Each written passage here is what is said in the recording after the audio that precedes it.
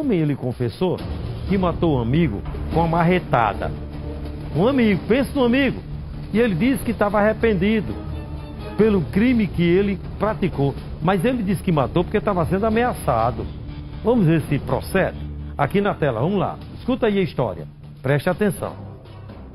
Matou com a marretada, não foi? Bota aqui. Vai, Rafaela. Aperta o dedo aí.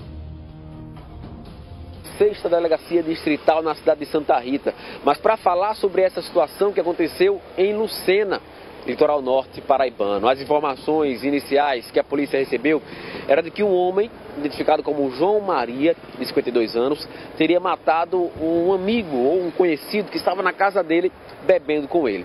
Esse fato aconteceu no fim da noite desta quarta-feira, numa região conhecida como Gameleira, em Lucena. O detalhe na história, como eu já disse, eles estavam bebendo, estavam juntos. E do nada, o João Maria pegou uma marreta, inclusive ele contou para mim que a marreta era uma marreta de 5 quilos, pegou essa marreta e pelas costas desferiu um golpe na nuca do homem conhecido como Timbu. O homem caiu já morto. Na sequência ele andou aí cerca de meia hora, saiu de Gameleira e foi para a Lucena, bateu lá na porta do pelotão da Polícia Militar, né, do ambiente onde ficam os policiais do batalhão especializado em policiamento turístico que fazem um trabalho naquela região do Lucena e disse, olha, acabei de matar um homem, matei o Timbu. Ele alegou que o Timbu estava ameaçando ele. Aqui na delegacia eu conversei com o João Maria. Ele disse que não estava arrependido e que matou porque estava sendo ameaçado. Porque ameaçar uma pessoa, você raiva com a pessoa nenhum Pra me dizer uma coisa a você, porque até um amigo para ficar ameaçando a pessoa não é amigo não, pô. Pra mim não é amigo, pra mim é um inimigo, né? Já tinha, já tinha sido preso alguma vez já ou a primeira vez? Foi preso assim de besteira assim, né? Mas preso assim, negócio de criminalidade e graças a Deus a primeira vez foi essa hoje. Já tinha matado ninguém? Não. Eu acho que nem, ninguém um dia que é ameaçado por uma pessoa e a pessoa matar, ninguém se arrepende não. Como é que foi? Ele, ele... Eu até meu celular ele tinha escondido, o sem diabo ele botou, perguntei cadê meu celular e ele ficou aquela brincadeira dele. Eu vou te matar, vou te matar. Eu disse, beleza, mas matar, mas de você matar, eu mato você. Como é que foi toda a situação no caso lá? Ele, ele, ele foi pra cima de você na hora? Na hora? Não, não.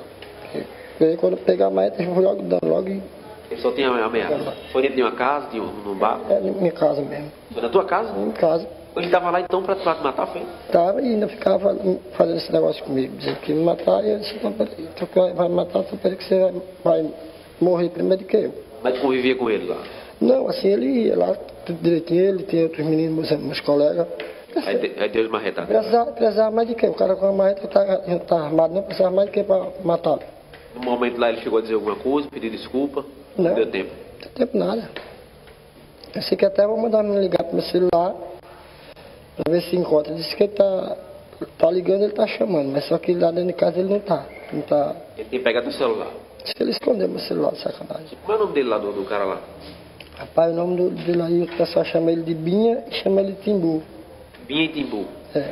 Depois de ter se entregado, agora ele fica à disposição, primeiramente, da Polícia Civil. Na sequência, passará por audiência de custódia, deverá permanecer preso. Ele contou também para mim que teve esse histórico policial, algumas prisões é, por outras situações, mas não por ter cometido homicídio. Dessa vez caiu por ter matado esse homem na casa dele no final da noite dessa quarta-feira. Agora aguardar todo o procedimento que vai acontecer através da justiça. A gente acredita, como eu disse, que ele vai permanecer preso, mas só a justiça é quem vai dizer. Depois da audiência de custódia, deverá ser levado aí para um dos presídios aqui na Grande João Pessoa, onde ficará à disposição da justiça para os demais procedimentos. Com imagens de Erivelton Lins aqui, repórter Betinho Nascimento, passando a vassourada na informação para você que acompanha a nossa TV Arapuã.